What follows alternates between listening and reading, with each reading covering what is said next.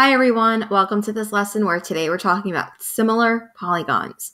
So similar means they have the same shape, same exact shape, but not necessarily the same size, and actually not the same size. If they were the same shape and the same size, then that's what's congruent. Okay. I always kind of talk about turtles for some reason when I talk about similar.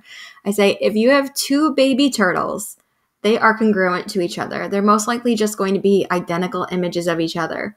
But a baby turtle and the big mama turtle, those are similar to each other. It's like the baby turtle is just this mini version, same shape, but if the whole thing was just expanded proportionally to the size of the mama turtle, then they would be the same. So the shape is the same, it's just the size is different. And that's what similar means. When you have similar polygons, you're looking for these two things. You're looking for that the corresponding angles are congruent. So you have all these pairs of corresponding angles that are equal to each other. So the measures of the angles have to be equal, but the sides from the baby turtle or the small figure to the large figure have to be proportional to each other. So we need equal angles and we need proportional sides. And we would set up proportions in order to either prove that, yes, these figures are similar to each other, or we would set up the proportions to solve for a missing side length of similar figures. It all depends on what kind of problem we are looking to solve, but it's all relatively the same. So if I give you this really super basic diagram, I've got two quadrilaterals here, if it says in the diagram ABCD is similar to, so the one little squiggly line, that means is similar to, whereas that squiggly line, if it was above an equal sign, that's when it's congruent. And remember, congruent means same size, same shape. Similar just means same shape, but different sizes. So ABCD is similar to WXYZ. So if I gave you that information, if I'm telling you these two figures are similar, well, we're going to be able to match things up. So angle A is congruent to angle W. You can see they both have an angle marker of 1. Angle B is congruent to angle X. Angle C is congruent to angle Y. And angle Z, a D rather, is congruent to angle Z. And we know that just simply because they're, of course, marked up. But all the sides in similar figures are also proportional to each other. So AB over WX. So now think about that. AB over WX.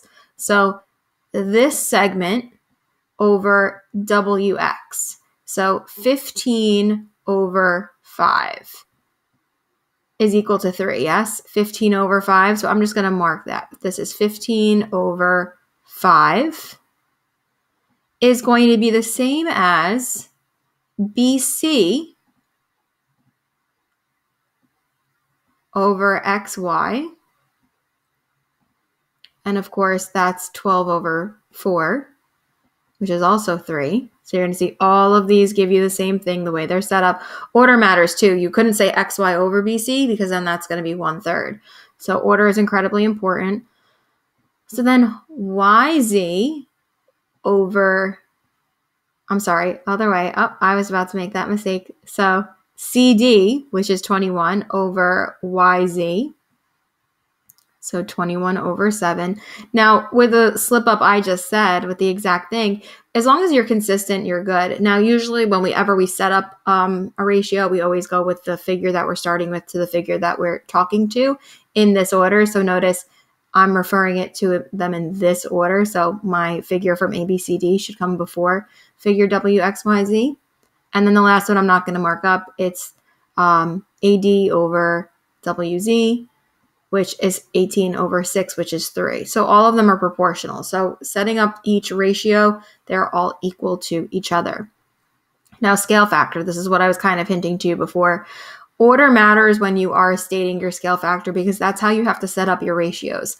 So, scale factor is the ratio comparing side lengths of similar polygons. So, these two triangles are similar to each other.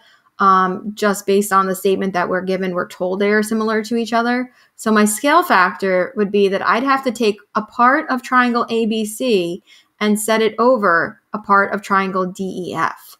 So, here, 3 over 6. And I know 3 corresponds with 6 because A to C look how it's in written in the order A to C. See how they're the first letter and the last letter? That's going to correspond with DF.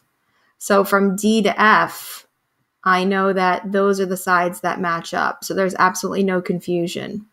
So the order of your statement, your similarity statement, is incredibly important. Everything has to line up, which is then equal to one half, and anything else would be four over eight. Four over eight is also going to be the scale factor of one half. So the scale factor from ABC to DEF is one over two. Okay, so a lot of this is going to feel very repetitive because I'm using the exact same diagrams, but we're just making sure that we can answer specific questions based on what we're given. Uh, we can't assume anything. We have to make sure we use these rules. So if I said to you, determine the angles and sides. So um, if I was looking at these two triangles, I'd be able to say, okay, well, I've got, you know, two pairs of angles that are definitely congruent to each other.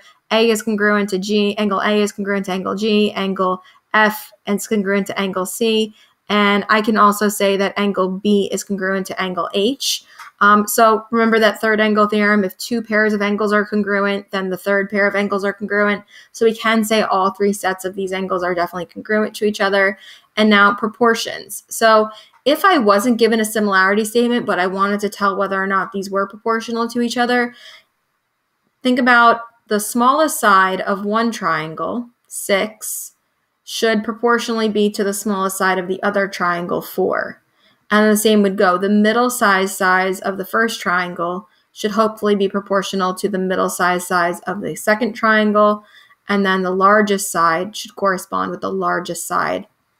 And if I set those up as proportions, um, I end up getting 3 over 2 for each one. So 6 over 4 is 3 over 2. 7.5 over 5 is 3 over 2. 9 over 6 is 3 over 2. So they are all proportional to each other. Okay, so now if I wanted to look at this diagram, okay, I've got 105, 85, 100. 105, 85, 100. So I can definitely, you know, add up these angles, subtract from 360, determine that the missing angle is 70.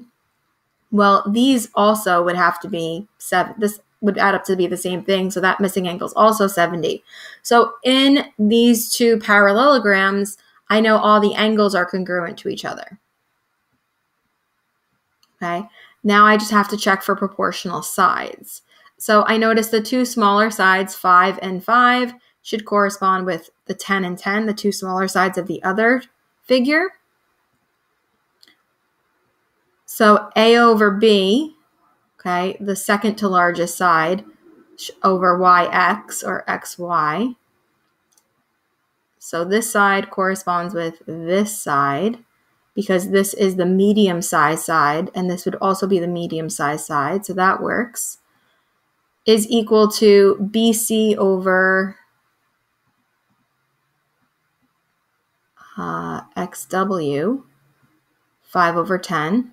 So right now I'm working with 7 over 14 is equal to 5 over 10, which is equal to CD, which is the largest side now. So the largest side of this uh, parallelogram should correspond with the largest side of that parallelogram, which is 8 over 16, which is still 1 half. So I'm getting the same ratio. dA over zy is just another 5 over 10, and they are all, whoops, set equal to 1 half. So they all mean the same exact thing, which means that these figures are definitely similar to each other. Here, um, same idea, corresponding angles, yes, proportional sides, yes. And so this would be my official statement, is that triangle ABC. And now here's something that we just always have to make sure, I mentioned it before, is that you have to make sure that everything coordinates. So this angle A, okay, is created by the intersection of the two larger sides. So that's a big indicator to you that A corresponds with G because this is the angle created by the two largest sides. So notice A starts the first part of my statement and G is the second part. H is the side that's created by the smaller and the medium angle, medium sized side, excuse me. So H and B, 6 and 7.5, those are in between that angle is created by the two smaller sides of the triangle. And so that's why B and H are in that order. If the order was mixed up, then you would have you wouldn't have your corresponding sides proportional to each other. Okay, so if I'm looking here at this diagram, okay, I'm looking at this, I'm trying to figure out are these two figures um, similar to each other? So I do see that I'm dealing with a parallelogram here. Opposite sides are equal. So remember properties of parallelogram. Um, opposite angles are congruent. So if this is 75, then this is 75. Also, consecutive angles are supplementary. So if this is 75, then these are both 105. And so I have this comparison, and now I'm dealing with 105, 105, 75, 75. So right now, all of my angles are congruent to each other. They all match up. And if I stopped here and I just said, oh, they're definitely similar to each other, um, we're going to be wrong because we have to set up that proportion. So proportional sides, look at this. If I set up 4 over 6, so the largest side of the first figure over the largest side of the second figure does not equal the smaller side of the first figure over the smaller side of the second figure. It's kind of like the second one would need to be flipped. So these unfortunately do not work out for each other. These are not similar. So we have to make sure we always set up that proportion to make sure that it's true.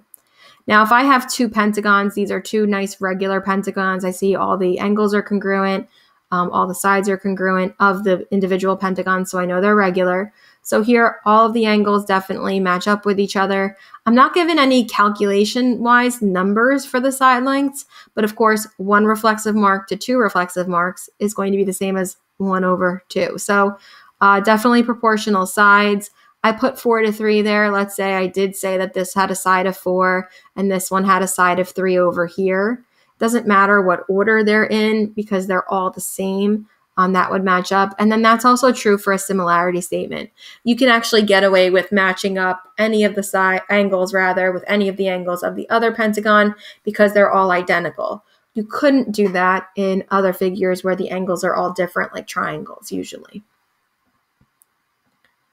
Okay, now we're going to look at determining a scale factor. So we know that these two triangles, we're seeing this for the third time, we know they're congruent to each other.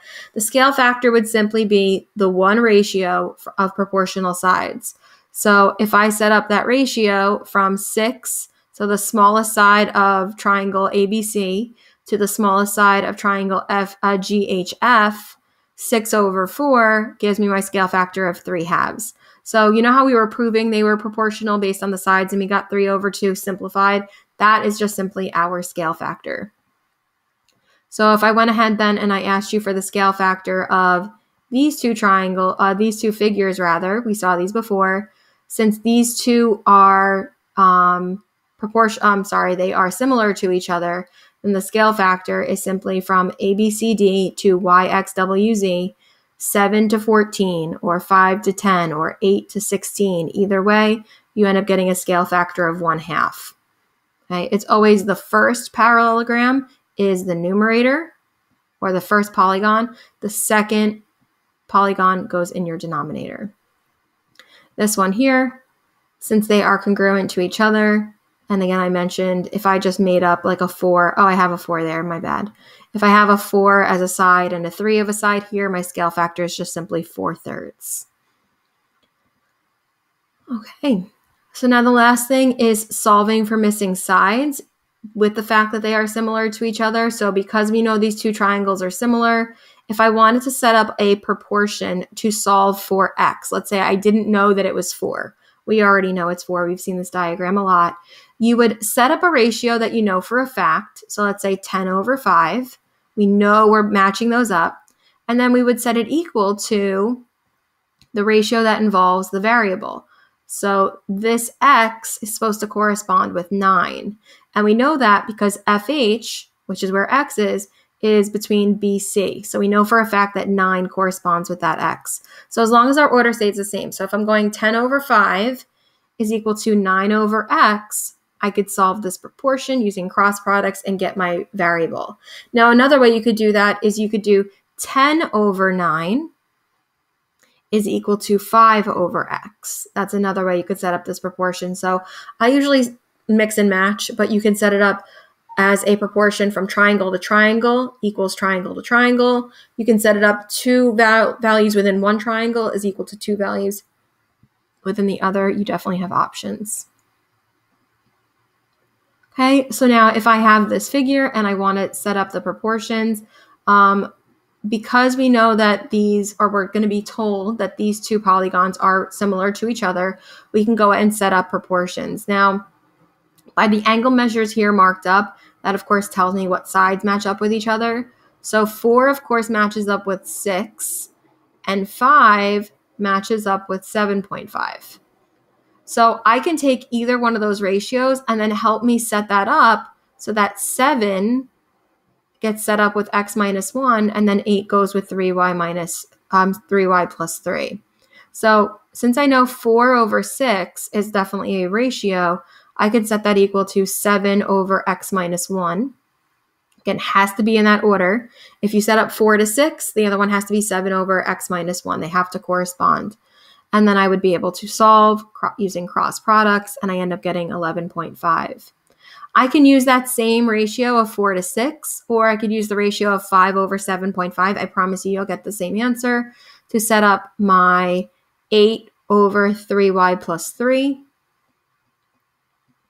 Again, let's use our cross products to solve, and we end up getting y equals 3. Thank you so much for watching this video. I hope it was helpful.